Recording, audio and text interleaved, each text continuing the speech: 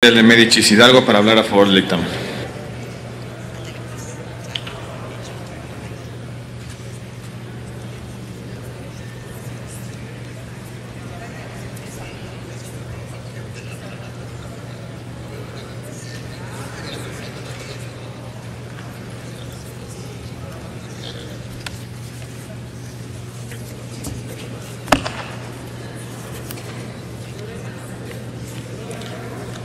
Sí, muchas gracias, con su venia, compañero presidente, compañeros senadores, compañeras senadoras.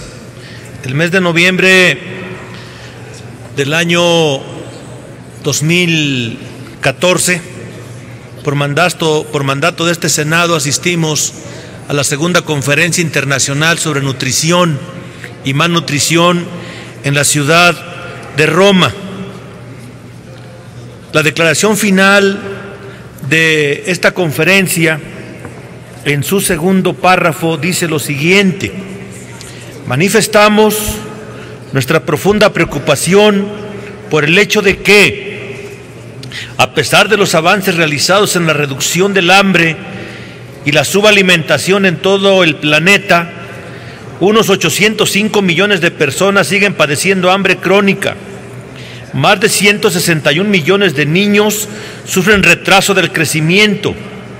99 millones presentan insuficiencia ponderal y 51 millones padecen em, emaciación, es decir, peso bajo para la estatura, en tanto que 2 mil millones de personas sufren diversas carencias de micronutrientes y más de 500 millones de adultos son obesos. Y hacemos hincapié en que la eliminación de la malnutrición en todas sus formas es un imperativo que concierne a todos los países y que debe alcanzarse a lo largo de nuestra vida. Así pues, pedimos a los parlamentos que, compañeros senadores, ojalá y pongan atención, uno, adopten metas nacionales de nutrición para su consecución antes del 2025 así como un conjunto de indicadores nacionales tomando en consideración las seis metas mundiales de nutrición comprendidas en el Plan Integral de Aplicación sobre Nutrición Materna, de Lactancia y del Niño Pequeño de la Organización Mundial de la Salud y los conjuntos básicos y extendido de los indicadores de, de progresos y resultados, así como las metas fijadas en la Agenda para el desarrollo después del 2015. En el mes de febrero propusimos un punto de acuerdo a este Senado de la República para que el Ejecutivo Federal y el propio Senado de la República adoptaran las recomendaciones de Roma. este punto de acuerdo fue turnado a la Comisión de Salud y es hora de que la Comisión de Salud todavía no lo dictamina.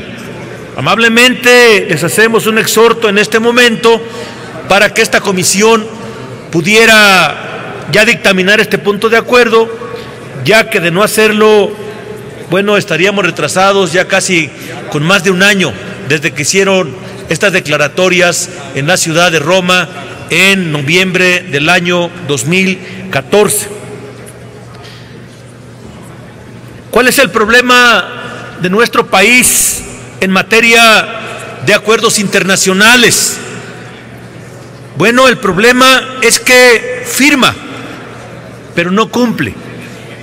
El 2013, en el mes de diciembre, se hizo la declaratoria del 2014 como año de la agricultura familiar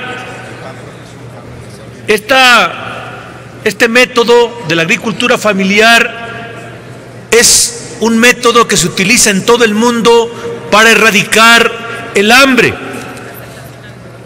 Y México, por supuesto, no solo ha hecho caso omiso, sino quiero decirles que en el programa de agricultura familiar para el 2016 solo se invierten 500 millones de pesos es decir, el 4% menos en términos reales que para el 2015.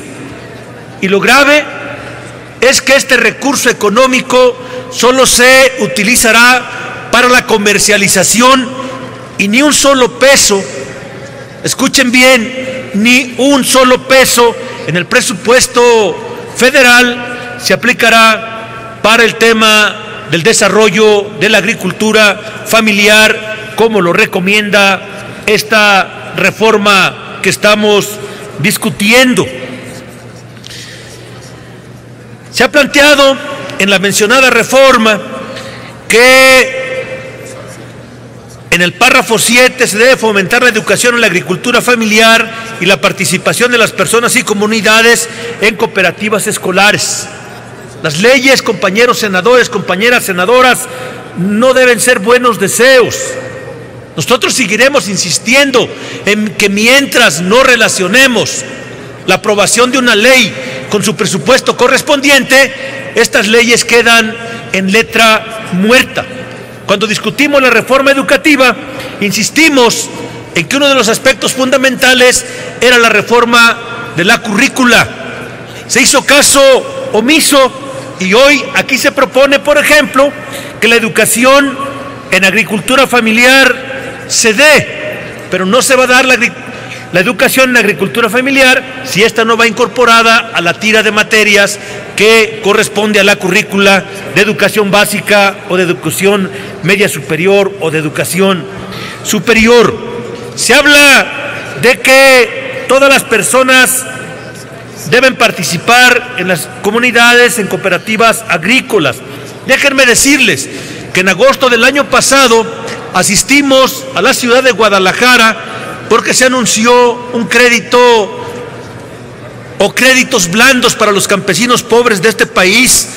Ya hay un clamor muy fuerte en todo México que Enrique Peña Nieto, el ciudadano presidente de este país, engañó nuevamente a los campesinos pobres de México, porque las reglas de operación hacen imposible que los campesinos que requieren estos créditos de hasta 230 mil pesos puedan acceder a dichos créditos.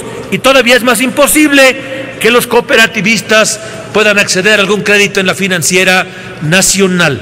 Por supuesto que estamos de acuerdo con las reformas que se están proponiendo, pero es necesario, es necesario que demos a conocer esto a ustedes, compañeros senadores, compañeras senadoras, para que juntos, para que juntos demos la lucha para erradicar el hambre en México. Por su atención, muchas gracias.